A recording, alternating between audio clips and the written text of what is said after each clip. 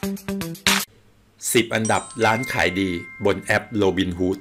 มีอะไรบ้างมาดูกันนะครับ ท้ายวิดีโอเนี่ยจะมีคีย์เวิร์ดสำคัญนะครับสำหรับร้าน Delivery เนี่ยสามารถจะนำไปต่อยอดได้ เดี๋ยวเพื่อนๆรอดูกันให้จบวิดีโอนะครับ ก็เริ่มต้นนะครับก็จะเป็นร้านที่1นนะครับร้านมนนมสดนะครับ สาขาเสาชิงช้านะครับ ก็ร้านนี้ก็ ดังมานานแล้วครับ แล้วก็อร่อยด้วยนะครับ ก็มีเมนูเครื่องดื่มที่เป็นตัวชูโรงนะครับ เป็นพวกนมสดต่างๆ ทั้งร้อนเย็นแล้วก็นำไปผสมกับ เครื่องดื่มหรือว่าส่วนผสมต่างๆเนี่ยซึ่งมีอยู่มากมายนะครับ แล้วก็มีพวกขนมปังต่างๆนะครับที่เสิร์ฟมาด้วย ทานเข้ากันลงตัวแล้วก็อร่อยนะครับ ประกอบกับตัวนมเนี่ยมันก็เป็นเมนูสุขภาพ แล้วก็สาขาที่เปิดอยู่ตรงนั้นเนี่ยมันเป็นสาขาเสาชิงช้านะครับ เท่าที่ผมไปทาน ร้านก็ไม่ใหญ่มาก คนเนี่ยแน่นตลอดไปกี่รอบกี่รอบก็เต็มตลอดนะครับ พอมี Delivery เนี่ยมาช่วยลักษณะการขายมันก็ง่ายขึ้น คนก็สั่งง่ายขึ้นประกอบกับของของเขาก็มีคุณภาพสูง แล้วก็อร่อยอยู่แล้วด้วยนะครับ มันก็เลยทำให้ตัวเมนูแล้วก็ร้านเขาเนี่ยยิ่งมีคนสั่งเยอะมาก แล้วก็มันมันจะนับแล้วเนี่ยพวกเครื่องดื่มเนี่ยมันค่อนข้างจะขายดีนะครับ แล้วก็ตัวพวกขนมปังเนี่ยมันก็ทานแล้วมันก็ไม่อิ่มมาก ทานเป็นเบรกก็ได้ หรือว่าทานรองท้องก็ได้ ทานเป็นอาหารเช้าก็ได้ คนทานได้ทั้งวัน มันก็เลยมีทำให้เกิดการสั่งซ้ำเยอะหรือว่า ลูกค้าสั่งไปทานได้ง่าย ๆ แล้วก็บ่อยๆนะครับก็ร้านที่1นนะครับอันดับ 1 อันดับ2นะครับก็จะเป็นร้านลุ่งเรืองนะครับก๋วยเตี๋ยวหมูสุขุมวิท26นะครับก็ร้านนี้ก็แน่นเหมือนกันครับ ผมเคยไปกินหลายทีแล้วกว่าจะได้ทานทีก็รอนานมากแล้วก็ แต่ก็อร่อยคุ้มค่าคุ้มราคาของเขา เป็นลักษณะเป็นก๋วยเตี๋ยวมีหลากหลายแบบนะครับ มีทั้ง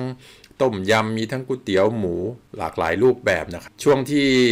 ยังไม่มีโควิดเนี่ยชาวจีนเนี่ยชอบมาทานมากร้านนี้ แน่นร้านเต็มไปหมดเลย ล้นไปหมด พวกพี่ๆไรเดอร์ก็เต็มไปหมดเลย จอดรอกันเรียงเป็นตับเลยร้านนี้ ก็น่าสนใจแล้วก็อร่อยมากครับสำหรับร้านลุงเรืองก๋วยเตี๋ยวหมูนะครับสุขุมวิท 26 นะครับถ้าใครมีโอกาสผ่านไปก็ลองแวะทานดูที่ร้านก็จะอร่อยไปอีกแบบหนึ่งครับ ทานที่ร้านเนี่ยก๋วยเตี๋ยวจะค่อนข้างอร่อยมาก ต่อไป 3 นะครับ 3 ก็จะเป็นร้านเอ่อโอบาซังนะครับ168 นะครับ ก็ร้านนี้เนี่ยมีขึ้นชื่อในเรื่องปลาแซลมอนนะครับ แล้วก็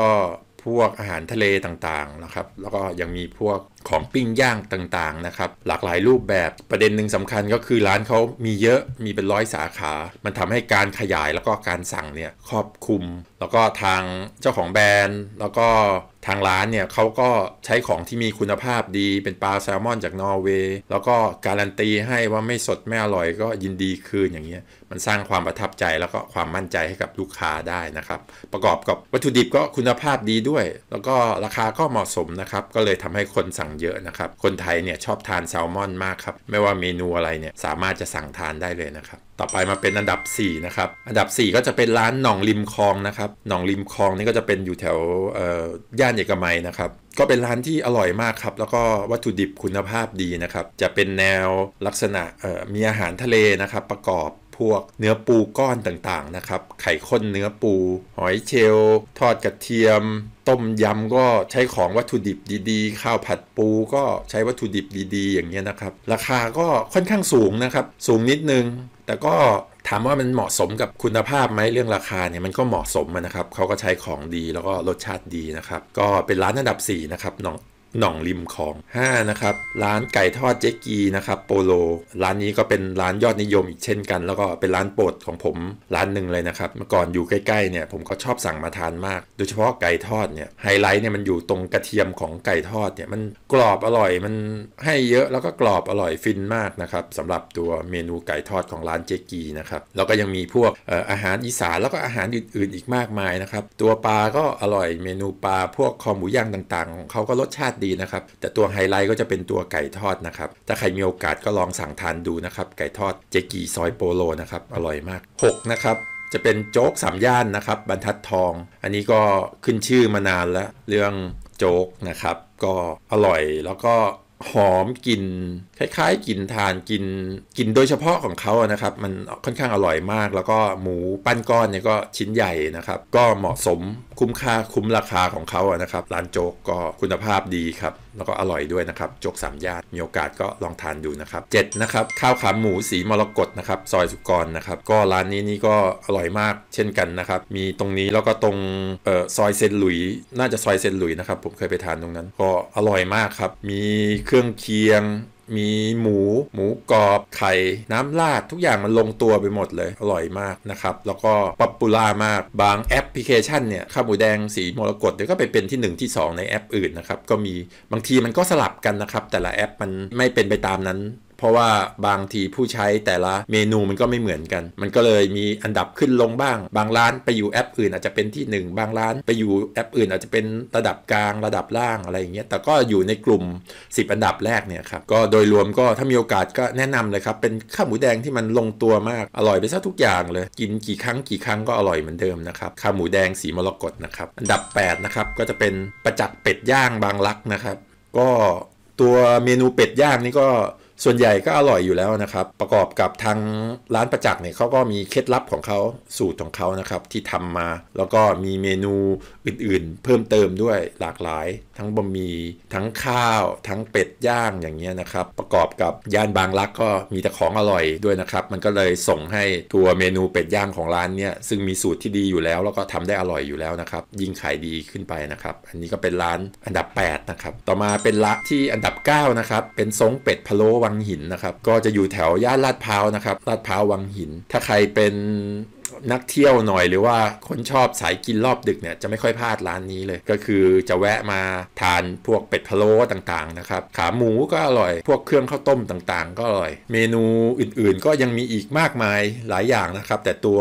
ไฮไลท์ก็คือจะเป็นตัวเป็ดพะโล้ของเขานะครับเป็ดพะโล้ของเขาเนี่ยเขาก็การันตีว่าตัวน้ำซุปเนี่ยเขาก็เคี่ยวมาตลอดไม่เคยดับมาเป็น 10-20 ปี แล้วเป็นหลักของร้านอร่อยหลาย ๆ ร้านนะครับก็คือเขาจะเปิดตัวหม้อน้ำซุปเป็ดเคี่ยวเป็ดไว้ตลอดนะครับตอนที่ผมมทำงานอยู่ก็ลักษณะเดียวกันครับครัวจีนก็จะเป็นลักษณะแบบนี้ เราจะเติมแต่เครื่องเทศ แล้วก็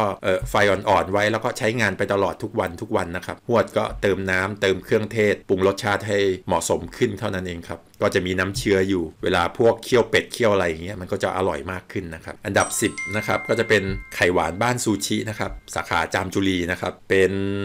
ซูชินะครับ มีหลากหลายหน้านะครับ เห็นทางร้านเคลมมาว่าอยู่ประมาณ 70 หน้านะครับ ก็อร่อยแล้วก็ราคาเหมาะสมด้วยนะครับ ราคาไม่แพงมาก เท่าที่ผมเคยทานก็จะอยู่ประมาณสักหลัก5ถึง30 บาท โดยประมาณประมาณนี้นะครับ อาจจะมีหน้าพิเศษเพิ่มเติมในปัจจุบันนะครับ ก็เคยไปทานแล้วก็อร่อยมาก ก็คือเหมาะสมกับราคานะครับ แล้วก็ ประกอบกับตรงย่านนั้นเนี่ยเป็นย่านใจกลาง center อยู่แถวๆจามจุรีสแควร์คนก็เลยสั่งเยอะผู้คนเยอะตึกรางหน่วยงานออฟฟิศมากมายอย่างเงี้ยมันก็เลยทำให้ร้านเนี่ยค่อนข้างจะขายดีเพิ่มเป็นทวีคูณนะครับแต่ก็โดยรวมแล้วพื้นฐานก็คือเมนูทำอร่อยอยู่แล้วด้วยนะครับแล้วก็ของคุณภาพดีแล้วก็ราคาเหมาะสมนะครับสุดท้ายนะครับก็คือเป็น key highlight นะครับเพื่อนๆสามารถจะนำไปประยุกต์ได้นะครับก็คือคำค้นหายอดนิยมของแอป Robinhood เนี่ยเป็นคำว่าแซลมอนนะครับโจ๊ก ก๋วยเตี๋ยวข้าวมันไก่แล้วก็ส้มตำนะครับ ส่วนโซนที่มีออเดอร์เยอะที่สุดนะครับก็จะเป็นโซนจตุจักรห้วยขวางนะครับแล้วก็คลองเตยนะครับลองนำพวก keyword เหล่านี้เพื่อนๆลองสามารถไปปรับใช้กับเมนูร้านเราได้ไหม เช่น บางทีเปิดคาเฟ่อยู่แล้ว หรือเปิดร้านอาหารอยู่แล้วเออเพิ่มเมนูส้มตำได้ไหมเพิ่มเมนูแซลมอนได้ไหมถ้ามันเข้ากับ concept ร้านเรานะครับหรือว่าคนกำลังจะเปิดร้านใหม่อย่างเงี้ยจะลงทุนใหม่มาค้าขายเนี่ยคนชอบทานก๋วยเตี๋ยวชอบทานข้าวมันไก่ส้มตำเนี่ยก็ลองวางแผนดูว่าจะใช้ keyword เหล่านี้ไปกระตุ้นร้านเรายังไงได้ หรือว่าจะใส่เป็นเมนูแนะนำหรือเมนูตัวไหนเพิ่มเติมได้ก็จะเป็นการดีนะครับส่วนโซนที่มีออเดอร์เยอะเนี่ยก็เป็นจตุจักรห้วยขวางคลองเตยนะครับบางทีก็แต่ละแอปก็โซนก็แตกต่างกันนะครับบางทีก็เป็นสีลมบ้าง เป็นทองหล่อบ้างเป็นลาดพร้าวบ้าง แต่ละแอปก็ไม่เหมือนกัน แต่อันนี้มันจะเป็นตัวสรุปของทางแอป Delivery Robinhood นะครับตัวแอป Robinhood นี่ก็น่าสนใจมากนะครับมีจุดดีมากมาย แล้วก็ขึ้นมาเป็นเบอร์ 2 แล้วด้วย ใครสนใจก็เดี๋ยวไปติดตามข้อมูลเพิ่มเติมจากทางเพจของทาง Robinhood หรือว่าทางเว็บไซต์ของเขานะครับ ส่วนในวิดีโอถัดไปถ้ามีโอกาสเดี๋ยวผมก็จะมาเพิ่มเติมข้อมูลที่เป็นประโยชน์ของทาง Robinhood มาให้เรื่อยๆนะครับก็ประมาณนี้นะครับสำหรับวิดีโอนี้ถ้าวิดีโอนี้มีประโยชน์ก็ฝากกดไลค์กดติดตามช่องเชฟแดนเพจเชฟแดนด้วยนะครับ ขอบคุณมากครับ สวัสดีครับ